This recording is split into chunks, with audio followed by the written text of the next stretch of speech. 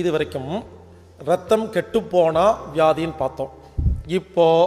ரத்தத்தை சுத்தம் பண்ணுறது எப்படின்னு தீர்வு சொல்யூஷன் அதை பற்றி பார்க்கலாங்க இங்கே பாருங்க ஒன்றும் இல்லை இந்த அஞ்சு அஞ்சுன்னு சொன்ன பார்த்தீங்களா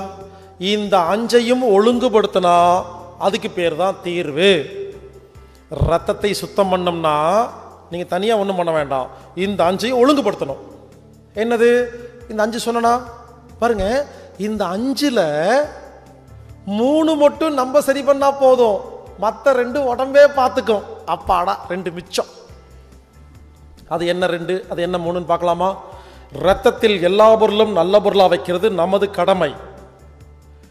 ரத்தம் ஊறுறது எலும்போ எலும்பு மச்சியோட வேலை அது நம்ம பண்ண முடியாதா இங்க பாருங்க ரத்தத்தில் எல்லா பொருளும் நல்ல பொருளாக வைக்கிறது நமது வேலை ரத்தம் ஊறுறது இருக்கு இல்லையா அது நாம் ஊற வைக்க முடியுமா எலும்பு வச்சு தான் ஊற வைக்க முடியும் அது உடம்போட வேலையா அப்பாடா ஒரு வேலை மிச்சம் மனதை ஒழுங்கா வச்சுக்கிறது நம்ம வேலை செல்களை புதுப்பிக்கிறது உடம்போட வேலையா புரிஞ்சுக்குங்க ரத்தத்தில் எல்லா பொருளும் நல்ல பொருளாக வச்சிங்கன்னா ரத்தம் ஆட்டோமேட்டிக்காக ஊறிடும் மனதை நாம ஒழுங்கா வச்சு இது நாளையும் நாம ஒழுங்கா வச்சா செல்கள் தன்னைத்தானே புதுப்பிக்க ஆரம்பிச்சிடும் அப்போ ஒரு நிமிடத்தில் முந்நூறு கோடி செல்கள் புதுசாக உருவாகும் பொழுது ஒரு வருஷத்தில் புத்தம் புதுசாக மாறிடுவோம் முன்னூற்றி அறுபது வருடம் நாம் ஆரோக்கியமாக வாழ்வோம் எமர்ஜென்சி ஆக்சிடெண்ட்டு பல முக்கிய அந்த மாதிரி விஷயத்தை மட்டும் டாக்டரை பார்த்தா போதும் புரிஞ்சுக்குங்க என்ன சொல்ல வரேன்னா ரத்தத்தில் எல்லா பொருளும் நல்ல பொருளாக வச்சு மனதை ஒழுங்காக வச்சுக்கிறது நம்ம வேலை இப்போ நம்ம கற்றுக்கிறது என்னென்னா ரத்தத்தில் எல்லா பொருளையும் நல்ல பொருளாக வைக்கிறது எப்படின்னு பார்க்கலாங்க ரத்தத்தில் எத்தனையோ பொருள் இருக்கா calcium iron sodium magnesium zinc கார்சானிக்கு பாஸ்பரஸ் அமிலங்கள் கார்போஹைட்ரேட் புரோட்டீன் விட்டமின் மண்டல் ஃபேட் வைபின் ஏ பிசின்னு எத்தனை பொருள் இருக்குது எல்லாத்தையும் எப்படி ஞாபகம் வச்சுக்கிறது ஒன்றும் ஞாபகம் வச்சுக்க வேண்டாம் ஒரு ஐடியா சொல்கிறேன் ரத்தத்தில் உள்ள எல்லா பொருளையும் அஞ்சு குரூப்பாக பிரிச்சிடலாம் என்ன குரூப் பஞ்சபூதங்கள் எப்படி பிரிக்கிறது உணவு உணவின் மூலம் ரத்தத்தில் போய் கலக்கும் பொருளுக்கு நல்லா கேட்டுக்குங்க உணவின் மூலம் ரத்தத்தில் போய் கலக்கும் பொருளுக்கு மண்ணுன்னு பேரு தண்ணி குடிக்கிறோமா தண்ணியின் மூலம் சில பொருள்கள் ரத்தத்தில் கலக்குதா இது நீர் குரூப் மூச்சு காத்து உள்ள போகுதா லங்ஸுக்கு போகுதா லங்ஸ் என்ன பண்ணுது ஆக்சிஜன் ஹைட்ரஜன் நைட்ரஜன் எடுத்து பிளட்டை கலக்குதா காற்றின் மூலமாக ரத்தத்தில் கலக்கும் பொருளுக்கு காற்று சம்பந்தப்பட்ட குரூப் பாருங்க ஒரு ரகசியம் சொல்கிறேன் சாப்பாடு மட்டும் ரத்தம் கிடையாது சில பேர் சொல்லுவாங்க உணவே மருந்து மருந்தே உணவுன்னு நான் ஒத்துக்கிறேன் உணவு மருந்து ஆனால் உணவும் மருந்து உணவு மட்டும் மருந்து கிடையாது ரத்தம்ங்கிறது உணவு மட்டும் இல்லைங்க உணவு பாருங்க இருபது மார்க் தான் தண்ணி இருபது மார்க் மூச்சுக்காத்து இருபது மார்க் அடுத்தது ஆகாயம் அது எப்படி கிடைக்குது தூக்கத்தின் மூலம் ஆகாயம் கிடைக்குது நான் கேட்குறேன் ஒழுங்காக சாப்பிட்டுட்டு தண்ணி குடிச்சிட்டு மூச்சு காற்று இழுத்துட்டு உயிரோடு இருக்க முடியுமா நாலு நாள் தூங்காமல் இருந்து பாருங்க உடம்பு வீக் ஆயிருதா ஒரு நாள் தூங்கலைனாவே எவ்வளோ கஷ்டமாக இருக்குது அப்போது தூக்கமும் மருந்து தூக்கத்தின் மூலம் என்ன கிடைக்குது தூக்கத்தின் மூலம் ஆகாய சக்தி ரத்து கிடைக்குதுங்க அப்போ அடுத்தது நெருப்பு நெருப்பு எப்படி கிடைக்குது தெரியுமா சூடு எப்படி கிடைக்குதுன்னா உடம்பு ஆட்டுறமா உடம்புக்கு வேலை கொடுக்குறோமா உடம்புக்கு வேலை கொடுத்தா ஒரு சூடு வருதா உழைப்பு தான் சூட்டுக்கு அடையாளம் புரிஞ்சுக்குங்க ரத்தம் என்பது பஞ்சபூதத்தின் கலவை உணவின் மூலம் மண் தண்ணியின் குடிக்கிற தண்ணி மூலம் நீர் இழுக்கிற காத்து மூலம் காற்று தூக்கத்தின் மூலம் ஆகாயம் உழைப்பின் மூலம் நெருப்பு அப்போ புரிஞ்சுக்கங்க ரத்தத்தில் எல்லா பொருளும் நல்ல பொருளாக வைக்கணும்னா சாப்பாடை மட்டும் ஒழுங்காக சாப்பிட்டா பத்தாது இப்போ சொல்கிற கேளுங்க உணவை எப்படி சாப்பிட்டா நல்ல சர்க்கரை நல்ல கொழுப்பாக ரத்தத்தில் கலக்கிறதுன்னு நாம் கற்றுக்க போகிறோம் இதுதான் நம் ஃபஸ்ட் அடுத்தது தண்ணியை எப்படி ஒழுங்காக குடிச்சு ஜீரணம் பண்ணுறதுன்னு கற்றுக்க போகிறோம் ரெண்டு மூச்சுக்காத்தை எப்படி ஒழுங்காக ஜீரணம் பண்ணுறதுன்னு கற்றுக்க போகிறோம் மூணு நாலாவது இப்போ தூங்கிட்டு இருக்கிற மாதிரி எப்படி ஒழுங்காக தூங்குறதுன்னு கற்றுக்க போகிறோம் அது மட்டும் சொல்லிக் கொடுக்க வேண்டிய அவசியமே இல்லை இது நாலு அஞ்சாவது எப்படி உழைக்கிறது அப்படின்னு கற்றுக்க போகிறேங்க புரிஞ்சுக்கங்க சாப்பாடு தண்ணி தூக்கம் மூச்சுக்காத்து உழைப்பு இந்த அஞ்சு விஷயத்தோட மனதையும் ஒழுங்குபடுத்திட்டா நாம் ஆரோக்கியமாக வாழலாம் ரொம்ப சிம்பிளாக சொல்லப்போனால் உலகில் வரும் அனைத்து வியாதிகளுக்கும் அடிப்படை காரணம் தப்பாக சாப்பிட்றது தப்பாக தண்ணி குடிக்கிறது தப்பாக தூங்கிறது தப்பாக மூச்சு காத்திருக்கிறது தப்பாக உழைக்கிறது மனதை தப்பாக வச்சுக்கிறது இதாங்க ரிசர்ச் இந்த ஆறையும் ஒழுங்குபடுத்தாம உலகத்தில் ஒரு தும்மலை கூட சரி பண்ண முடியாது இந்த ஆறையும் ஒழுங்குபடுத்தினா கேன்சரையும் குணப்படுத்திடலாம் அதனால் நாம் இப்போ ஆறு விஷயத்தை கற்றுக்க போகிறோம் இந்த ஆறு விஷயத்தை ஒழுங்குபடுத்துவது மூலமாக நாம் இப்பொழுது ஆரோக்கியமாக வாழ போகிறோம் அதனால் இதாங்க சொல்யூஷன் மறுபடியும் சொல்கிறேன் சாப்பாடு தண்ணி தூக்கம் மூச்சு காத்து உழைப்பு மனசு ஆறு விஷயத்தை நாம் ஒழுங்கு பண்ணனா ரத்தத்தில் எல்லா பொருளும் நல்ல பொருளாக மாறி ரத்தம் ஓரிடும் மனசு ஒழுங்காகி செல்கள் புதுப்பிச்சிடும் ஒரு நிமிட ஒரு நிமிடத்தில் முந்நூறு கோடி செல்கள் புதுசாக மாறி ஒரு வருஷத்தில் எல்லா செல்லும் புதுசாக மாறி முந்நூற்றி அறுபது வயசு வரைக்கும் ஆரோக்கியமாக வாழலாம் மருந்து மாத்திரையை கொஞ்சம் கொஞ்சமாக கொஞ்சம் கொஞ்சமாக கம்மி பண்ணி நிறுத்திடணும் எமர்ஜென்சி ஆக்சிடென்ட் முக்கியமான வேலைக்கு மட்டும்தான் ஹாஸ்பிட்டல் போகணும் இப்படி இருந்தால் நூற்றில் தொண்ணூத்தஞ்சு வியாதிகளை நமக்கு நாமே குணப்படுத்த முடியும் ஆறு மணி நேரம் பார்க்க வேண்டிய அந்த டிவிடியில் இருக்கிற விஷயத்த இப்போ ஆறு நிமிஷத்தில் சொல்ல போகிறேன் இதை மட்டும் ஃபாலோ பண்ணால் போதும் சாப்பாடு முதல் பாயிண்ட் சாப்பிட்றதுக்கு முன்னால் பிரார்த்தனை பண்ணிட்டு ஆரம்பிக்கணும் ரெண்டாவது பாயிண்ட்டு பசி இருந்தால் மட்டும்தான் சாப்பிடணும் பசி இல்லாமல் சாப்பிட்டா விஷமாக மாறும் மூணாவது பாயிண்ட்டு நம்ம சாப்பிட்ற சாப்பாட்டில் ஆறு சுவை இருக்கணும் இருந்தால் தான் ஜீரணம் ஒழுங்காக நடக்கும் நாலாவது பாயிண்ட்டு நாக்கால் நல்லா ரசித்து ருசித்து சப்பையாக்கி சுவை அற்று அப்புறம் தான் முழுங்கணும் உணவை மெல்லும் பொழுது உதட்டை மூடி நல்லா கூழ் மாதிரி செஞ்சு உதட்டை பிரிக்காமல் மென்று தான் சாப்பிடணும் அஞ்சாவது பாயிண்ட்டு சாப்பிடும்போது கவனத்தை சாப்பாட்டில் வச்சு கண்ணை மூடி முடிஞ்சா கண்ணை மூடி கவனத்தை சாப்பாட்டில் வச்சு உதட்டை மூடி நல்லா மென்று கூழ் மாதிரி செஞ்சு சாப்பிட்டுக்குங்க ஆறாவது பாயிண்ட்டு சாப்பிட்றதுக்கு அரை மணி நேரம் முன்னால் தண்ணி குடிக்கக்கூடாது சாப்பிடும் பொழுதும் தண்ணி குடிக்கக்கூடாது சாப்பிட்டு முடித்து ஒரு அரை மணி நேரம் தண்ணி குடிக்கக்கூடாது ஏழாவது பாயிண்ட்டு ஒருவேளை இந்த ஒன்றரை மணி நேரத்தில் தண்ணி தாகம் எடுத்துச்சுன்னா கொஞ்சமாக அளவாக நீங்கள் குடிக்கிற அளவு இறைப்பையில் இருக்கிற ஆசிடை அவிக்காத அளவுக்கு கொஞ்சமாக குடிச்சிக்கலாம் இந்த மாதிரி கை வச்சு மூணு தடவை உறிஞ்சு குடிச்சிக்கலாம் இல்லை ஒரு கால் டம்ளர் குடிச்சிக்கலாம் எட்டாவது பாயிண்ட்டு குளிச்சா முக்கால் மணி நேரத்துக்கு அப்புறம் தான் சாப்பிடணும் சாப்பிட்டா ரெண்டரை மணி நேரத்துக்கு அப்புறம் தான் குளிக்கணும் ஒன்பதாவது பாயிண்ட்டு சாப்பிட்றதுக்கு முன்னால் முகம்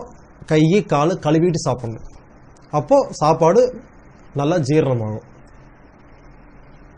பத்தாவது பாயிண்ட்டு டிவி பார்த்துட்டு சாப்பிடக்கூடாது பதினோராவது பாயிண்ட்டு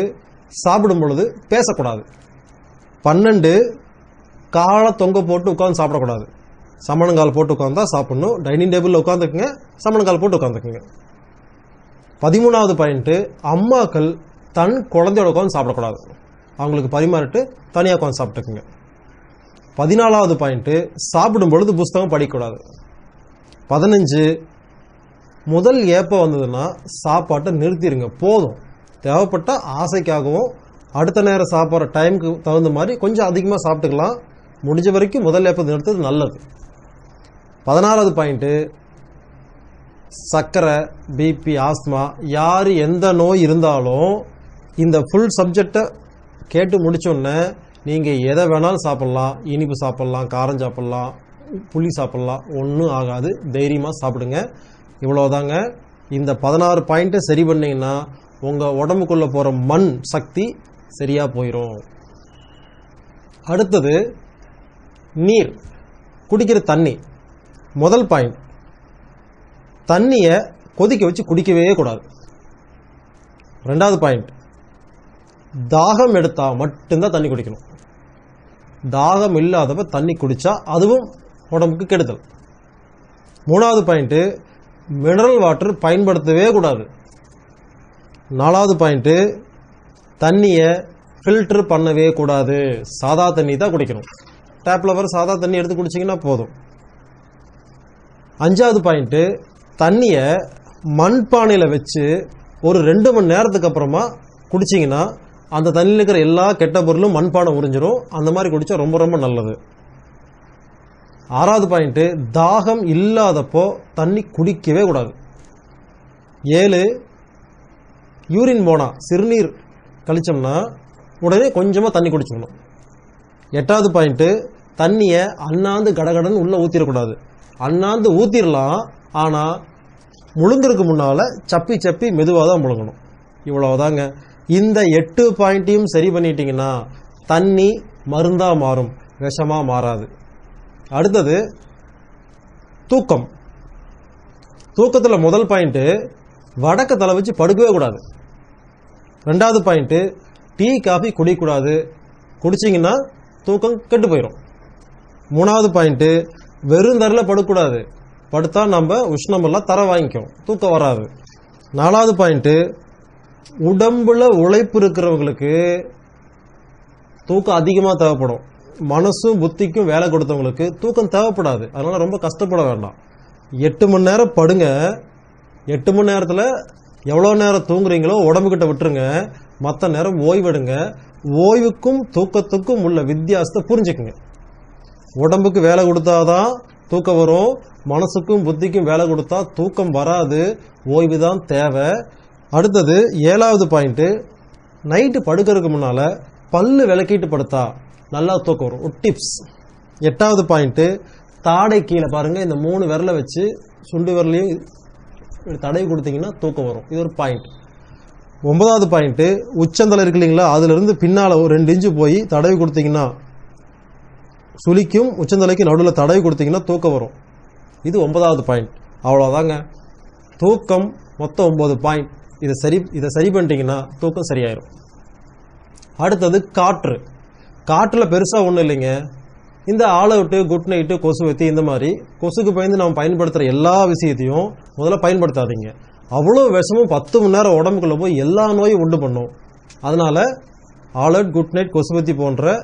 கொசுக்கு சாகடிக்கிறதுக்காக பயன்படுத்துகிற எந்த ஒரு பொருளையும் பயன்படுத்தாதீங்க ரெண்டாவது இருபத்தி நாலு மணி நேரமும் நாம் இருக்கிற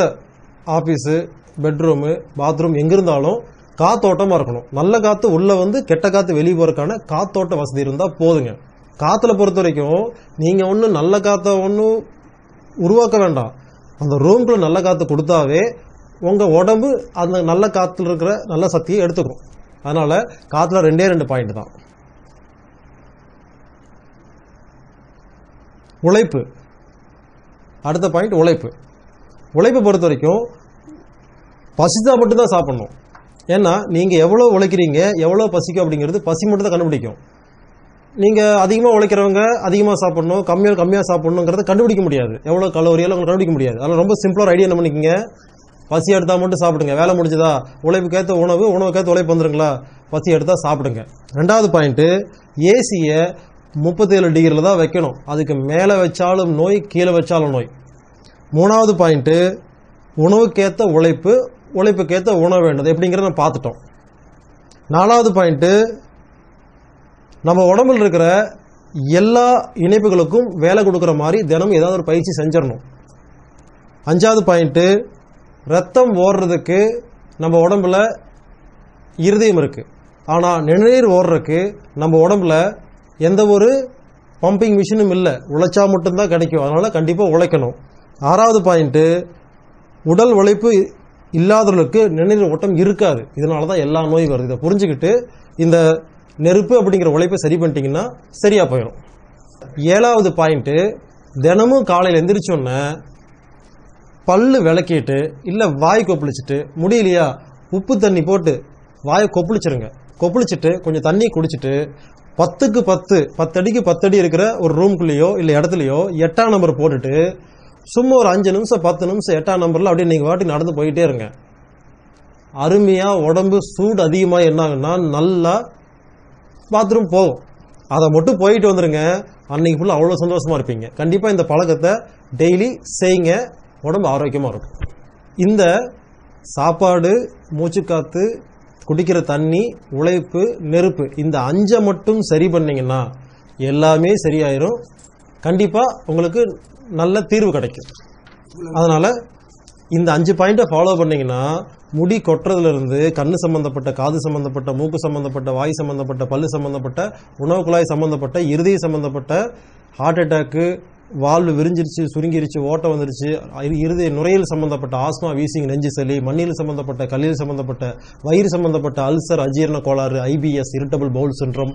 கிட் கிட்னியில் கல் இருக்குது மூத்திரப்பையில் கல் இருக்குது பித்தப்பையில் கல் இருக்குது மூட்டு வலி முழங்கால் வலி இடுப்பு வலி தலைவலி ஒத்த தலைவலி ரெட்டத்தலை வலி தோல் சம்பந்தப்பட்ட எல்லா நோய்களுக்கும் ஆண்மை குறைவு குழந்தையின்மை மலட்டுத்தன்மை பெண்களுக்கு உண்டான எல்லா மாதவிடைய சம்பந்த பிரச்சனையும் ஹிரண்யா